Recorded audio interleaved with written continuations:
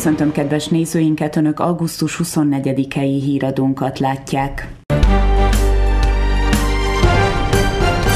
Megtartotta alakuló ülését az új összetételű Topolyai Községi Képviselőtestület. Az ünnepélyes eskütételt követően Sasa Szördityet választották meg a testület elnökévé, aki pedig a polgármesteri tisztségre Szatmári Adriánt javasolta. Helyettesévé az eddigi polgármestert, Kislinder Gábort választották meg. Tomik Nimrodot a képviselőtestület elnök helyettesének javasolták és választották is meg. A községi tanács tagjait is megválasztották Mentus Lívia, Nagy Norbert, Sefer Attila, Kovács Viktor, Milán Janusz, Ognyen Despotovics és Milorad Teslics alkotják. Szatmári Adrián Topolya újonnan megválasztott polgármestere nyilatkozott.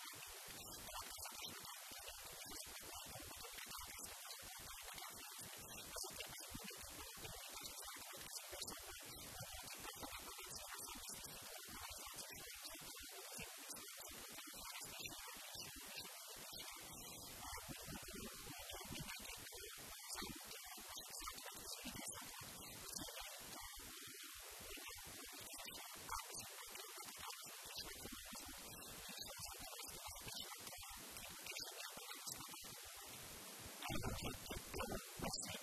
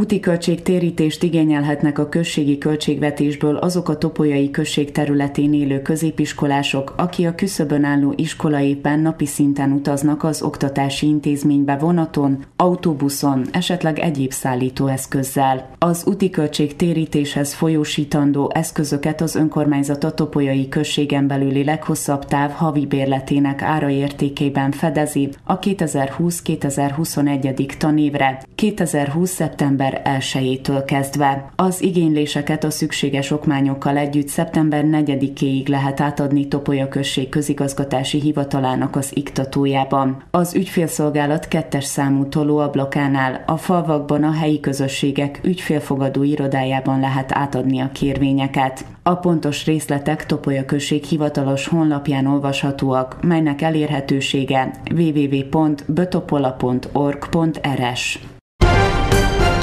Problémát jelent Szerbiában, hogy sok üzletben nem adnak számlát, jelentette ki Sinisa Máli pénzügyminiszter, aki egyúttal bejelentette, hogy hamarosan újabb nyereményjátékot szerveznek a nyugtákkal. A pénzügyminiszter arra kérte a polgárokat, hogy minden vásárláskor kérjék el a számlát, és bejelentette, hogy a szürke gazdaság visszaszorítása érdekében az elkövetkező hónapokban ismét nyereményjátékot indítanak, amihez most is a nyugtákat kell majd összegyűjteni, viszont ezúttal a teljes folyamat elektronikus úton zajlik majd, írta a tanjug. A kalászosok nem teremtek jól idén a topolyai község területén, a kapás növények esetében valamivel jobbak a kilátások. Bábi Lajos a topolyai gazdakör elnöke nyilatkozott a témáról. Hát a buzának hozamát tudjuk, hogy erre ezen a környéken elég e, alacsony hozamok voltak főleg, mm, úgyhogy e, erről nem nagyon lehet dicsekedni, ami a hozamokat illeti, bár itt ezen a e, Szopolya, Szabadkez, a magas területeken, ahol ugye sokkal kevesebb csapadékot egész évben, kivéve ugye ezt a zaratás utáni csapadékokat, hogy az zaratásban mi volt, és hát a hozamok azok eléggé é, alacsonyak, olyan 20 pár mázsa körül mozogtak a buzánál, sörárpánál, úgy a takarmányárpánál is 20-25, az már, 25 körül az már jó volt, elvétve akart jobb hozam is, de inkább voltak gyöngébb hozamok, voltak 10 márás hozamok is, 15-6 márra 8, úgyhogy a hozamokkal nem lehet, nem vagyunk megelégedve, azt lehet mondani. De most ami az árakat illeti, azt tudjuk, hogy ott maradtak a tavainál, vagy kevesebbek, úgyhogy vannak olyan gabonák, amik hát azt mondani, hogy nem takarták le a költségeket, amit ugye be lett a termelők. Például itt az árpánál abszolút ugye ne, a sorárpánál nem takarta le a, a befektetést, gondolom, meg hát a költségeket, mert hát minőségük nagyon gyönge volt, és akkor volt, amit nem is tudtak venni sörárpába, nem takarmányárpába, és így természetesen, hogy az árottam meg hát alacsony volt, és hát veszteséget tudtunk kihozni a sorárpa termesztéssel, és hát ez a takarmányárpa is az idei évben egy kicsit többet vettek tavaly ősszel, mivel hát tavaly évben jó ára volt a takarmányárpának, így nagyobb vetésterületek is voltak az idén, meg alacsonyabb ára volt, ott is a hozamok ugye aládobtak, és így bizony ott se lehet mondani, hogy valami jövedelmet meg lehetett valósítani. A buza az, hát szintén alacsonyabb hozamok voltak, és hát a befektetésük tudjuk, hogy elég nagyok voltak a műtrágyák, a, az alaptrágya, a fejtrágya, az urea, a, a vegyszerek, a permetezések, két C3-szor is permetezték a termelők, de bizony a hozam ugye elmaradt, tudjuk, hogy miért, tehát itt se volt jövedelem. Egyedül, ami azt lehet mondani, hogy a zaratásban, ami hát a repcének a hozama is valamennyivel alacsony, alacsonyabb volt, de viszont, hogy hát az ára eléggé egy kicsit kielégítő volt, tehát nagyobb áron lehetett értékesíteni, és hát az még valami jövedelmet hozott, de hát ezt, ez, ez, ez az az összegérzés, ami, hát, ami illeti a ősi kultúrákat. Szeptember 1-től visszatérnek a színészek a színházakba, ekkor kezdődnek a próbák, előadást pedig a hónap közepétől nézhet meg a közönség Szerbiában. A válságstáb pénteken meghozott döntése szerint minden megelőző intézkedést be kell tartani a koronavírus terjedésének megfékezése érdekében. A nézőknek kötelezően maszkot kell viselniük, a színészeknek előadás közben ez nem lesz kötelező. Emellett nyitnak a mozik is, a filmeket is maszkban ülő közönségnek vetítik majd majd. Mindkét kulturális intézményben maximum 500 néző követheti az előadásokat. Az idei Nagyapáti Kukac Péter képzőművészeti díjat a Bírálóbizottság egyhangú döntése alapján Gubik Korina zentai képzőművésznek ítélték oda. A Nagyapáti Kukac Péter képzőművészeti díjat a Topolyai Napok keretében adják át szeptember 17-én. Ugyanekkor a hagyományoknak megfelelően a Topolyai Művelődési Ház kiállító termében megnyílik a díjazott művész kiállítása is.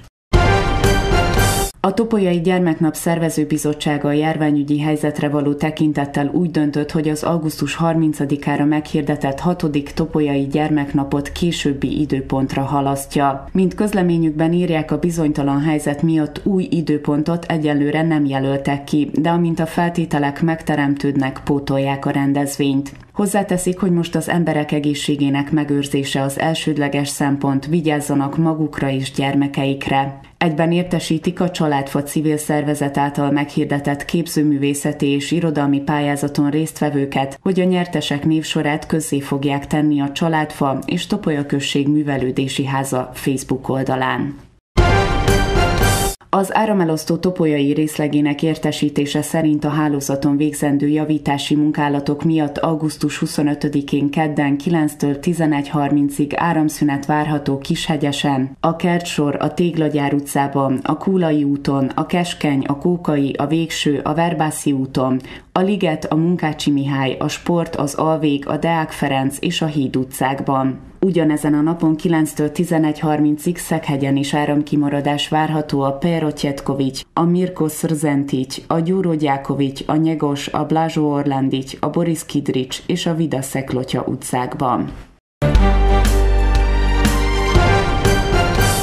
A Szerb Szuperliga 5. fordulójában az Entai Városi Stadionban 3-2-re veszített az újonc Metalasztól a TSC csapata. A vendégek a 16. percben szerezték meg a vezetést Katanic révén, aki a 60. percben is gólt lőtt. Ebből a helyzetből még vissza tudott jönni a TSC, a 67. percben Tománovics góljával szépített, majd három perccel később Lukic egyenlített is. A három pont sorsa azonban a 75. percben dőlt el, amikor Katanic kihasználta a hazai védelem figyelmetlenségét és megszerezte harmadik gólját is.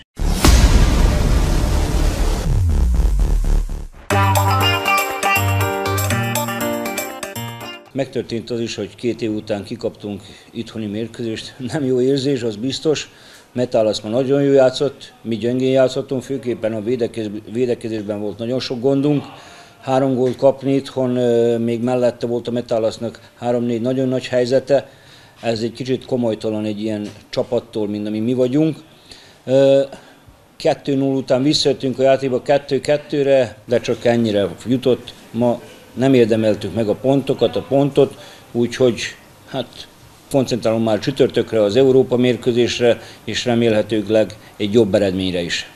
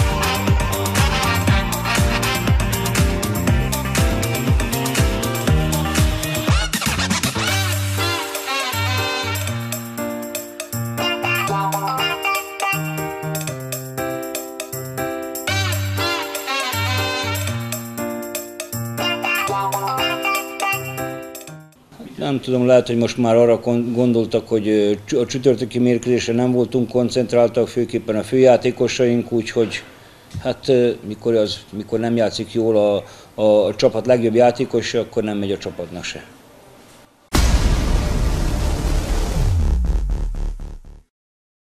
A TSC 5 forduló alatt 8 pontot gyűjtött a bajnokságban, a következő fordulóban a Crvena Zvezda vendégeként lép pályára. Előtte azonban az Európa Liga selejtezőjében a moldovai Petrokab Hincesti lesz az ellenfele. Kedden már többfelé számíthatunk hosszabb napos időszakokra, de előfordulhatnak záporok, kiseséllyel zivatarok. Többfelé élénk lehet az északnyugati szél, délután 24 fokot mérhetünk. Szerdán már több napsütés ígérkezik, de még felhők is megjelenhetnek az égen, csapadék viszont nem valószínű. Többfelé megélénkül, néhol megerősödik a délire, délnyugatira forduló szél, a maximumok 29 fok körül alakulnak. Csütörtökön hidegfront érkezhet feltámadó, akár viharos északnyugati széllel, párfokos lehűléssel, viszont számottevő csapadék nem valószínű.